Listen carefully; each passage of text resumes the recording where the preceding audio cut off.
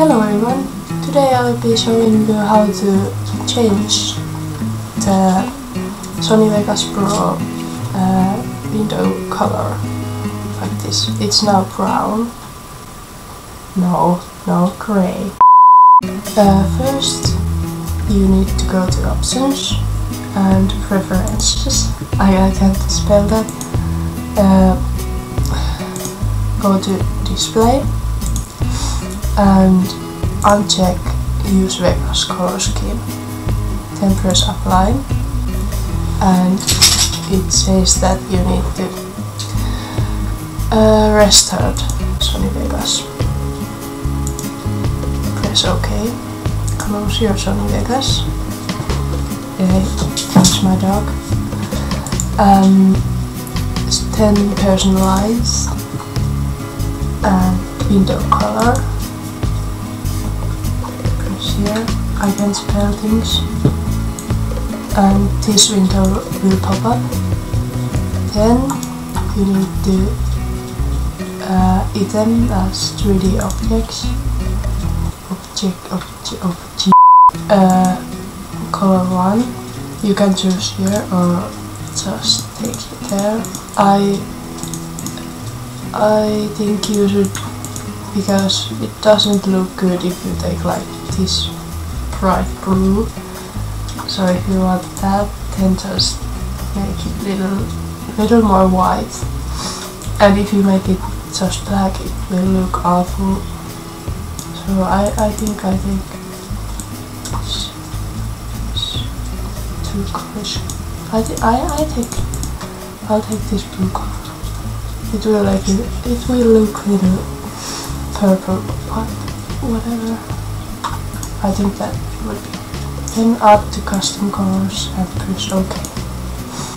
Then apply. It takes a minute. Yes. I press OK. Close that. And then open your Vegas.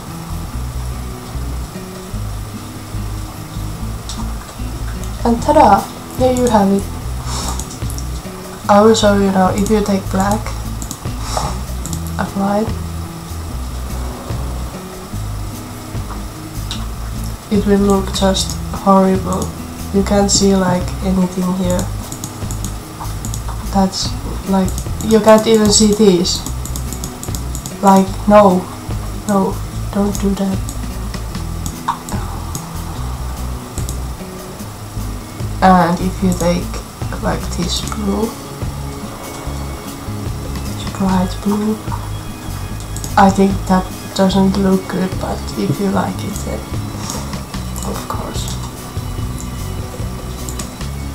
I will take